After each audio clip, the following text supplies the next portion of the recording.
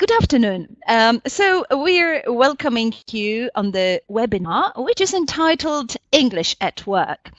Um, in this short meeting, we are going to concentrate on two aspects of English at work. The first one is, you know, purely um, professional and uh, connected with the language which is used um, talking about work. But then we will look very briefly at how to work in um, Anglo-Saxon uh, English language culture because there are some differences which are not only linguistic but also cultural. Okay, so let's move on. And to warm you up on this rather chilly but very sunny day, I would like to ask you, and if you can, could you please write down in the chat box, um, do you speak English at work? I guess that you do speak English because you participate in this webinar, and I know lots of you. But uh, do you do you speak English at work?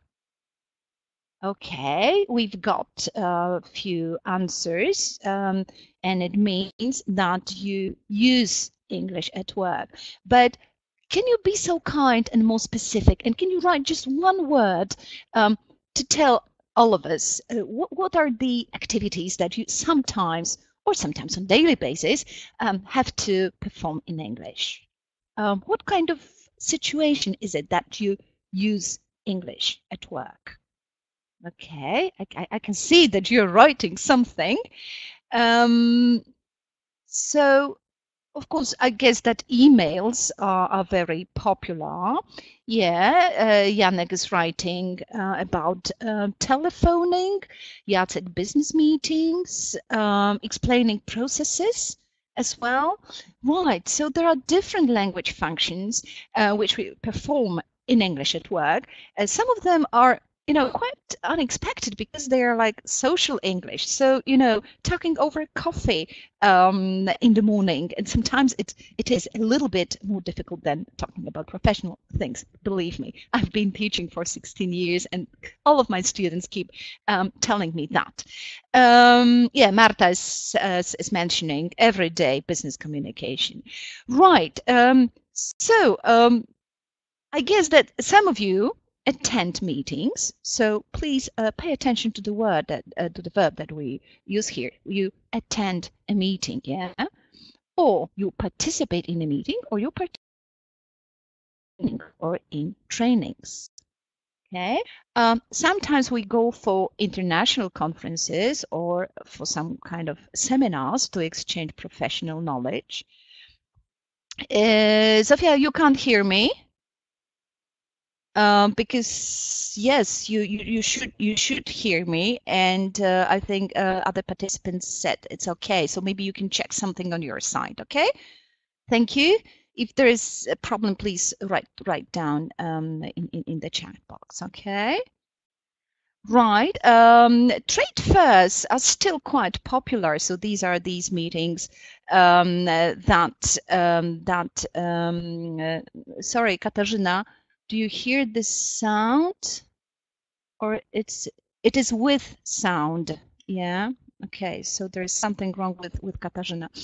Um, talking Lydia talking about the HR process explaining um, the people from other branches how it works etc um, okay I'll, I'll write sorry I'll write to um, Zofia and Katarzyna please Oh God, I want to do it quickly. And um, Katarzyna, please check your settings. Okay, sorry for that. Um, sometimes we participate in trade fairs. As we said, we go for international conferences and seminars. We participate in trainings, um, professional trainings. We attend meetings. And one more function, which is becoming more and more popular with this, you know, developing um, technology. So um, participation in the so-called calls. Um, as you can see, the word call uh, slightly changing its meaning in English. Now it's like a meeting online. And we also uh, participate in calls, which is a little bit more difficult because there are um, few few people. Um, Adam, you don't have sound. Okay. Um, I don't know. What, what about the rest of participants? Can you hear me? Uh, can you hear me? Because most of you can hear me. Um, so sorry, but uh, those of you, uh, okay, I write it. I write it down. Please check your um, settings because you need to allow. Uh, yes, you need to allow me to be heard by you. So you have to do something on your computer. I'm very, very sorry for that. Well, technology. That's why participation in calls sometimes can be um, tricky, like uh, for some of us here today. Right. Um, then we um, mentioned a few things connected with performing uh, our duties in English um, at work. And uh, one more question. How long have you been um, at your current job? Um, is it is it a relatively new job, or you have been working for a few years, or like me, I've been working at Worldwide School for God over 16 years now. Um, yeah, wow. So some of you have got really long uh, job history, same as me. But there are some uh, people for whom the job is relatively new, like Sylvia uh, Agnieszka, Jacek. Right, uh, so probably our story with our um, jobs started with job adverts. Uh, sometimes we um, hear some news from our friends or um, there is gossip on the market that some company is going to set up and they're looking for employees. But I would like to show you um, job advertisements uh, which are published in British or American newspapers, and they differ from what we can uh, see um, in, in, in Polish media as they mention pretty precisely the, the range of earnings. Um, I, I, can't remember any Polish job advertisement with uh, with with the, that that element. Yes, there are a lot of uh, requirements, a little bit about benefits, but never ever um, the range of possible earnings is mentioned. Um, and if you see something like this, uh, usually uh, advertisement uh, for higher positions, um, you see um, this kind of a thing. Okay. The uh, currency dollars, 100K. And of course, K stands for thousands. So it means it's really um, quite senior um, management position. Okay, so we've seen something like this um, on the newspaper and we decide to apply for this job, um, what happens? Uh, we write a very professional curriculum vitae, which uh, is called CV, and even we use exactly this word. Um, yeah, Janek, they don't pay so good here. That's right. but maybe one day, maybe one day. Let's not lose our hope. Um, so we prepare our quite um, I would say, impressive CV. Um, these days, usually uh, with a photo included, which reminds me, I didn't, I didn't switch on the camera mode, but I will say goodbye at the end, and you will see me. Um, of course, one other thing which is um, um submitted together with CV is uh, a cover letter in which we explain our motivation for taking up this job, and we also uh, stress why um, they should consider us as candidates for the position. Okay, and now the most stressful part of um, of the whole process that is job interview, and the person uh, who applies for the job is the interviewee, the person who answers um, questions, but people who ask questions are interviewers. And of course, you know, we are kind of prepared, but you know, you never know what's going to be asked. And they judge you. They keep this eye contact, as you can see here. They try to read between the lines whether what you're saying is right, correct, and true.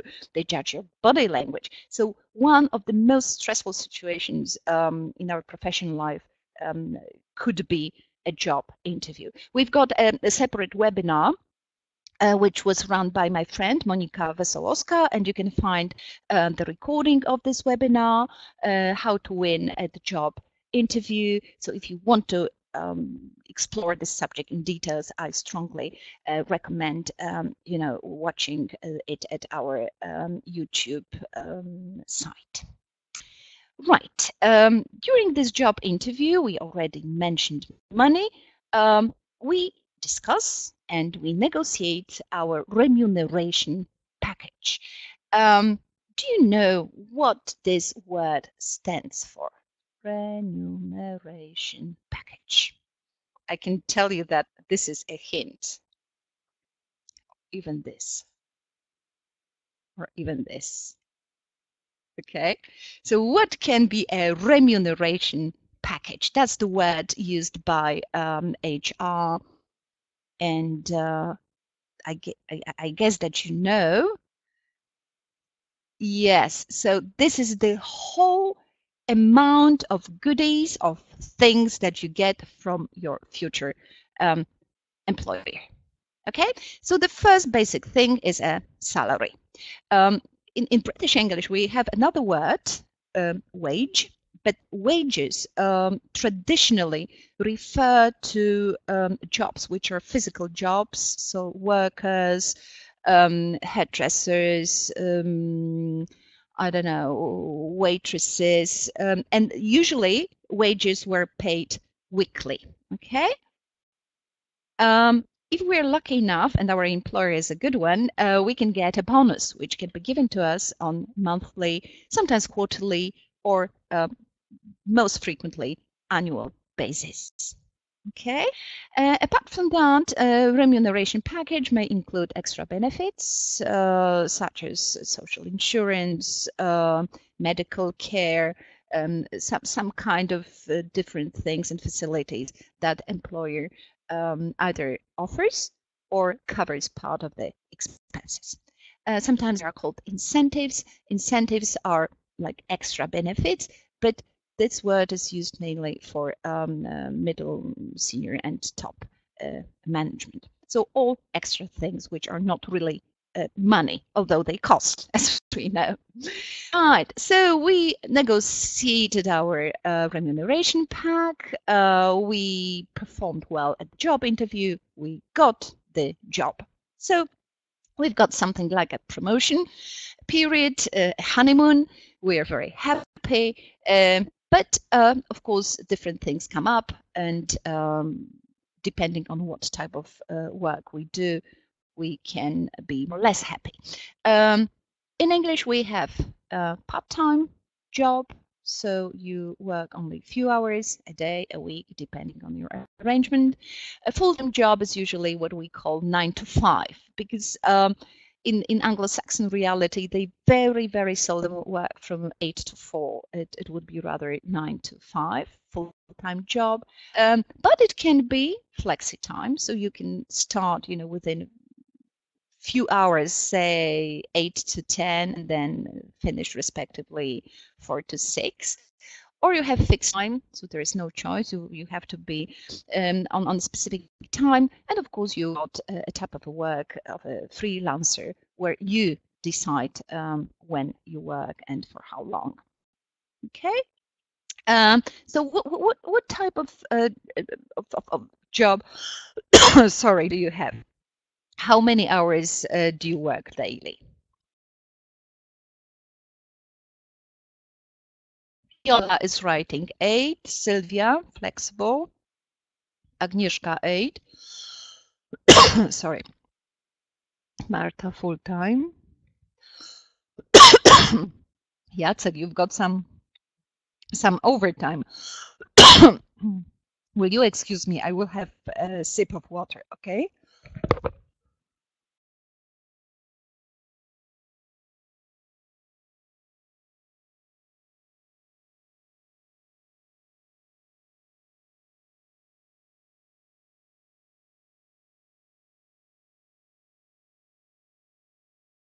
Sorry, I had to go to the kitchen and, and have a glass of water. Right. So most of us work, I think, eight up to 10 hours. But if we work more, of course, it, it is called overtime. sometimes paid, sometimes unfortunately unpaid. All right, so the job and part of job, part of work is morning coffee. Probably um, the most important part of uh, our existence um, at work because this is the, the time and, and this is the place, depending uh, where you work, when you learn the most important news, rumors, and gossips about company, uh, company life, and about people in organization. It's very important to be updated.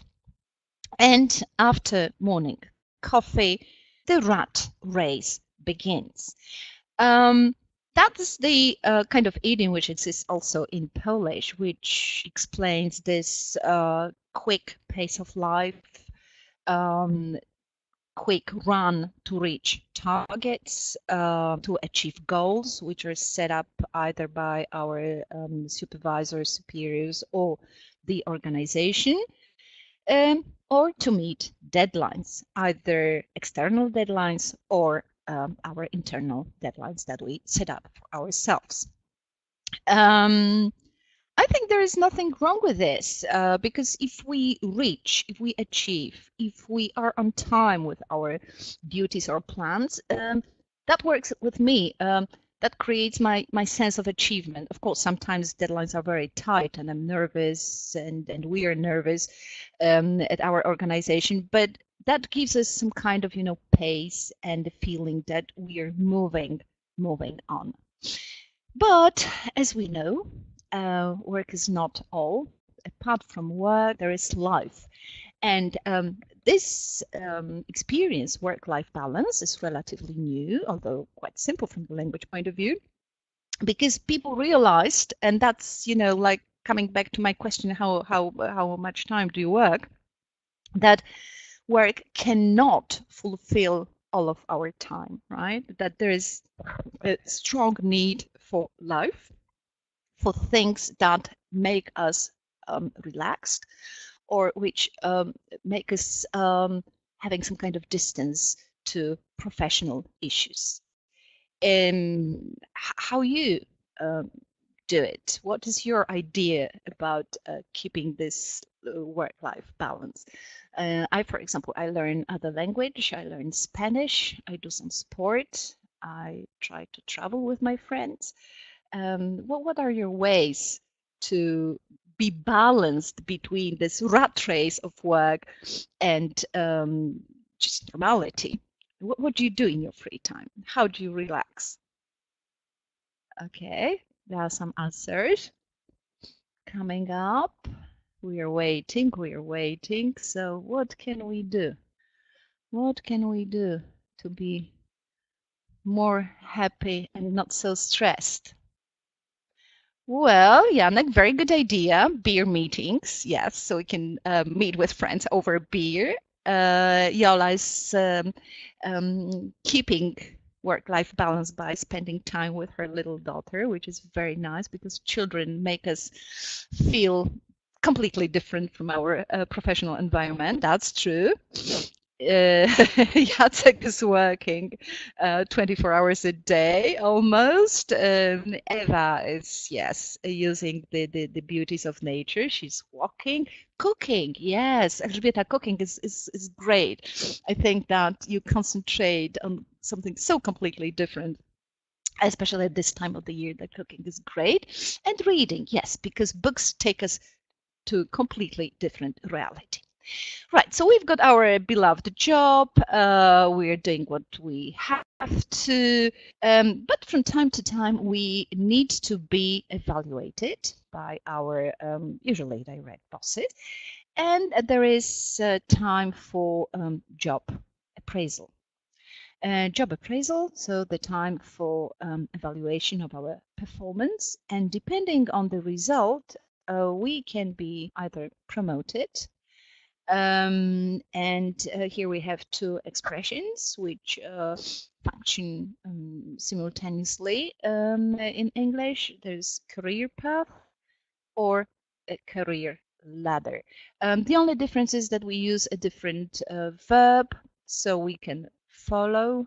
I try to write it, but I don't know if I do it correctly. follow our career path or go, right? Go. This is G, as if you didn't know, right? And um, what do we do with the career, career ladder? We climb. So we climb. Yes, so we climb the career ladder. And as uh, with all trends, we can use words like quickly, steadily, slowly, etc. Okay, um, promotion is uh, sometimes connected with money, so we get either a bonus, uh, sometimes bonuses are related to our performance, or we can get something more stable like a pay raise. Um, if things are not going well, um, the dismissal appears, and um, the letter of dismissal or oral dismissal is a sign that we have to write our CV again and look for another job advert. Um, expressions for this unpleasant situation people can uh, get fired, uh, people can be laid off, uh, also can be made redundant. This is more official and um, functions in HR language. Or if we talk about higher positions like the president of the company or vice president, um, they can be dismissed. Uh, this expression also applies to politicians. Um, people who are dismissed um, very often receive uh, very generous uh, compensation, money compensation, which in English is called golden parachute. So enough money to land safely. Nice, nice thing. Right. Um, so um, if we talk about uh, work generally, uh, we and using English at work, it's advised to um, use KISS principle like during presentations. So if we use the foreign language, in this case English, we should try to keep it short and simple, both in oral communication and in written communication. Why? Because if we follow this KISS principle, um, there's the risk of making mistakes. Uh, there is, is much lower, and there is less chance to um, make some kind of mistake which can cost us, I don't know, reputation or even money if we think about interests of the company. So I say, yes, speak and uh, write in a simple way, but what about idioms? Some of you who sometimes visit uh, my webinars know that I like idioms and I think that they are um, necessary uh, element of um, our language competence. So here, just few of them to illustrate um, work-wise situation. Um, if we say that we get something off the ground, uh, as the picture indicates, means that we start something, yes? Uh, usually the project, initiative, idea, mm, as the example um, says, after a lot of hard work, we finally got the campaign off the ground. Mm -hmm. If you manage to do so, uh, probably your your company um, uh, or your department or your office looks like a, a beehive, uh, so the place where bees live. Uh, when I went to offer help, the office was already a hive of activity. We have a very similar idiom in Polish, as you probably remember. If things are in the company, in the organization, uh, in there in the pipeline, it means that they are processed the moment, right? Um, here, the example tells us that a new version of the budget is in the pipeline at the moment. So it means it's in the decision process. Of course, the uh, bigger organization, the longer pipeline is. Mm -hmm. And sometimes um, we suffer, um, not only in administration, but in our business life, we suffer from red tape. And uh, red tape is a synonym of bureaucracy and hierarchy, which slows down the process of uh, making decision. And as we know, uh, in the modern world, time is money. So if there wasn't so much red tape, the company would be up and running already. Okay, uh, I'm sure that all of us know the word brainstorming because it's used even if we speak Polish, but there is a new one, um, blamestorming. If you blame somebody, you try to find who was guilty and uh, due to whose fault something wrong happened. Um, storming is usually a kind of um, session or some kind of uh, summing up why the um, event or um, plan or the project or initiative went wrong. Unfortunately, I think that after um, the Olympic Games, which uh, now take part um, in, in, in South Korea, we will have a lot of blamestorming. Blamestorming session took place following the drop in sales. Sometimes blamestorming session um, is not uh, a negative one. We are trying to find um, mistakes and try to avoid them and find ways in the future to make things better.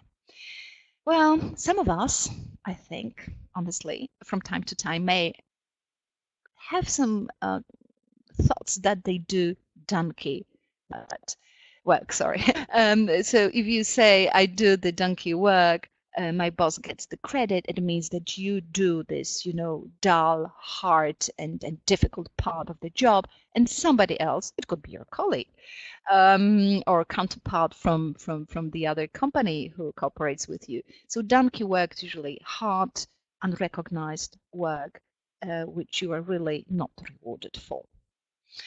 Right, um, we look at the language, but as I said, we also look um, at the cultural aspect of using English at work because now we know that English is kind of modern lingua franca, so international language in which we uh, do business. Uh, ages ago, it was it was Latin. Um, there was a long period of domination of French language in Europe, and now definitely uh, English is number one. Although um, Spanish and Chinese are, you know, stepping just behind. And what we do, as you told me at the very beginning of our meeting, we work in multicultural global companies, international companies, um, and we deal with cross cultural aspects of using the language. So it's not only the words that we use at work, but also the way um, of behavior. Um, if we look at the communication aspect um, of, of, such existence in, in international surrounding, uh, we start with things like even greetings, yeah? Um, so we um, say hi, hello.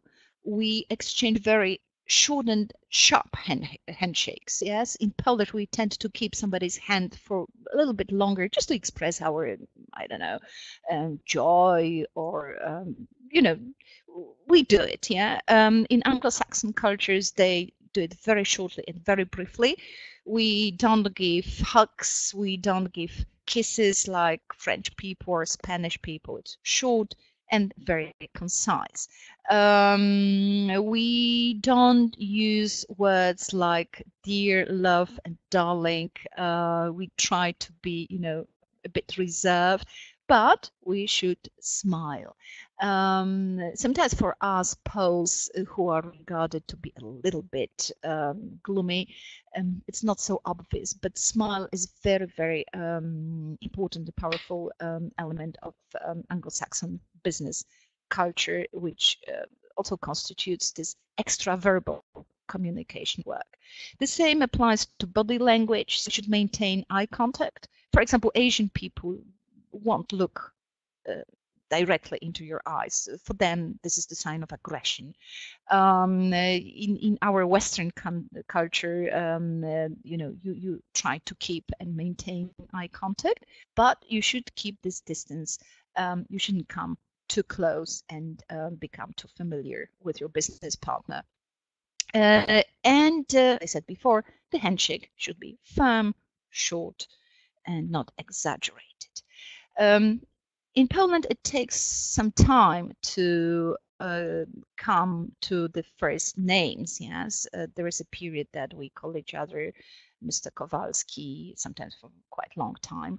Um, in German companies, you keep calling people like that for ages. Um, they have this peculiar custom of, of not using first names. Maybe now it's changing a bit, but definitely uh, Brits and Americans, they very quickly, uh, almost immediately, um, tell you, please call me John. Yeah?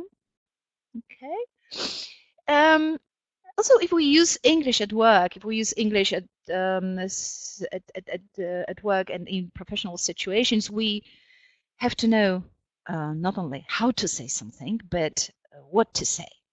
And what do you think are safe topics for conversation? Imagine yourself uh, at your company with some visitors from abroad or maybe your co-workers with whom you communicate in English. Well, what are the, the topics which you can discuss safely? Yes, Eva is right. Weather. Mm -hmm. uh, what else? What is allowed? Uh, what won't put us in embarrassing situation or somebody else in embarrassing situation? Okay, I'm waiting just 30 seconds more. If not, we are moving on. All right. Uh, so definitely you can talk about entertainment. What we mean here is uh, film, uh, music, um, some kind of a concert. Yeah, that's that's pretty. Yes, music exactly. Sport. Yes, so you talk about holidays, uh, either holidays that um, already happened or the holidays that you're planning. That's really, really a safe subject. Weather, yes, something that Eva mentioned. Uh, you're either commenting what's going on today or what happened yesterday, or you're talking about uh, weather forecasts. Very safe uh, ground. Well, mm, so far family seemed to be safe, but we know that these days um, family is not as stable as it used to be. And for some people, it could be a little bit embarrassing in terms of their partners or maybe divorces or having, not having children. I put family, but once I was I was preparing this slide, I thought maybe these days we should avoid asking people um, about their family status um, because not for everyone it's a um, safe and comfortable subject. Yeah, Marek is, is writing about uh, the Olympic Games. So uh, news, yes, uh, news and uh, work and sports.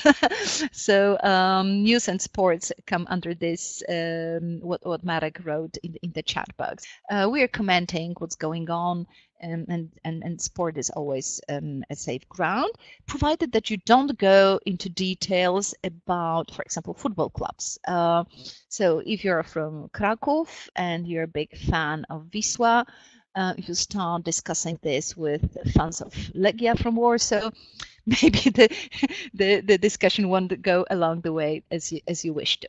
But of course, it's, it's a joke. Um, so um, we, we can uh, speak um, with our counterparts uh, in English about safe topics and make these small um, small talks. But on the other side of the equation, we've got taboos and um, taboo subjects are really um, important um, in the sense that you can ruin your um, business or work relationship with somebody if you start talking about something which is really uncomfortable or really socially um, unacceptable. Um, I think that yes, Eva is right. Uh, Eva probably uh, saw already my slide, politics. Um, politics is a very, very dangerous ground, um, either here in Poland or um, if we talk about global um, politics. So it's better to um, avoid uh, this this subject. Religion as well. Mm, both subjects evoke a lot of emotions and could be, you know, the subject of unnecessary um, discussion. Um, sex, sex preferences, um, finance. Um, I, I, I, told you at the beginning that they uh, speak quite openly about the range of earnings uh, when they hire for the job. But um, once you get your remuneration package established, you know, it becomes pretty confidential. Yes and origin. Um, now the world is like you know one big melting pot. Um, we we don't ask people who, for example, look differently than us. Yes, oh, where do you come from? Are you from Africa? Well, for us Poles, it's quite neutral, but I think that in this reserved and cold Anglo-Saxon culture, um, this this kind of behavior could be treated uh, as offensive and not polite. Okay, um, and now a few comments um, about um, British and American customs um, in this professional professional world. So uh, punctuality. This is this is a Protestant uh, culture. So although they may be not believers, uh, but they they they uh, keep this lifestyle of Protestants. They are down to earth. They are always on time. Um, if you're late, there is nothing like academic quarter in Poland. If you're going to be late, you are expected to call a few minutes um, a few minutes before that that you would be late. Um, there must be an agenda of the meeting. They feel very uneasy if there is no agenda yes. Uh, so so the meetings even if they are spontaneous they need to have some kind of clue. Um, there's always um, small talk um, required um, as the kind of introductory phase uh, of um, of the whole um, uh, of the whole meeting. Um, you concentrate on facts and figures, not emotions. Uh, already we mentioned this eye contact and keeping personal space, so never never coming too close. Um, and a good good custom, which I like personally very much, is summarizing. So after the meeting, you come back to your offices and you write a short email uh, to confirm what has been discussed and what is possibly agreed for future actions. Okay. Um, business dress, well, of course it differs. Business dress or dress code or business dress code um, differs depending um, in, in, in what what business um, you work at the moment and also within one organization you have different departments. If you're a frontline department definitely it would be as here more conservative and colors are dark and um, and and women um, shouldn't wear too much makeup and too much jewelry and dresses shouldn't be too short. So um, that's the general code and from that of course we have exceptions but strongly connected with the place um, where, where, you work and with your role in the organization okay um, business cards still exchanged, um, although not with such dignity like um, Japanese people do it. They just, you know, Japanese tend to read business card for almost five minutes. I'm joking, but um, you just take a look. Yeah, it's a quick glance, and um, you you you put it down. But still, still they are used. Although now we've got these um, uh, virtual business cards, and I think that they will substitute the real ones, the paper ones, soon. Um, business gifts uh, given usually on special occasions like Christmas, um, so some accessories. You can give a book um, about the history of your country or some um, tourist uh, attractions, and of course you can go for lunch. It's also treated as a kind of business gift. Um, when we work in the international environment, um, a good thing to mention is a mobile etiquette. Um, so whether we speak Polish or English, um, there is some kind of uh, set rules, uh, and definitely uh, in Anglo-Saxon business culture, you're uh, expected to um, have your phone switched off uh, during not only meetings but also meal times um, it, it is generally considered to be um, impolite um, if, if, if, you keep uh, your mobile on the table, for example, over the um, lunch, uh, business lunch. Yes, out of sight, out of mind. Just put your phone uh, into your pocket, handbag, and enjoy the moment. Whether this is um, professional or um, just you know private meeting of uh, colleagues from work. Uh, try to avoid some some funny um, funny for us uh, ringtones. Uh, here I put Despacito because uh, Despacito because um, the, the, the, there are you know now uh, a lot of signals like that. Um, uh, try to make this ringtone be more neutral. Yes. Okay, and always call back because that's the way it is um, expected. All right. Okay. Um, so that was a very brief um, overview of a few things are connected with using English at work because as I told you at the very beginning, it's not only the matter of language and, and words that you use, but also a set of behaviors which sometimes speak louder than words. And um, we should be aware of these cross-cultural differences, of this um, multinational environment that we're um, existing in. Um, it's a very broad subject. English at work because we can talk about different things. We could cover presentations, negotiations, meetings, telephonics, but that would need not one meeting, but probably um, even 10. So that was a brief overview here uh, during our uh, session today, but I promise to send really substantial uh, materials um, the beginning of next week, um, in which you will find uh, much more language input. So more idioms, more expressions connected with recruitment, with uh, performance, uh, with transition between positions. So you will receive quite a lot. I, I wouldn't call it HR language, but connected with functioning as the system and some useful phrases for for um, performing uh, your tasks on everyday daily basis. So enjoy your work every day and I hope you you like this this brief meeting and uh, this brief moment with English. Please expect materials to come to your mailbox pretty soon. And if you have any questions, now we've got a few minutes uh, for this and you can write them in the in the chat box. Okay?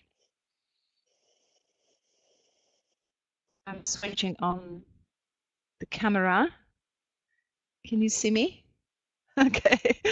It was a great pleasure to have all of you here and I hope you enjoy our webinars and um, they give you some incentive and they give you some um, encouragement to look at English not only as a you know something that you have to learn um, using lots of uh, rules and and and and words to learn by heart, but to see English as a beautiful, beautiful medium of communication, uh, which is you know used by so many people over the world. I can see something. Uh, uh, Marek, when can we expect next webinar? Marek, we run our webinars um, on monthly basis. Uh, so today is 22nd, uh, so I think uh, the last or one before the last uh, Thursday on uh, March, in March. Okay. last one, okay. Um, again, if you have any kind of questions uh, concerning the subject or the materials that you will receive, please do not hesitate to contact either me or um, Tomek or generally Worldwide School, uh, our fantastic employer.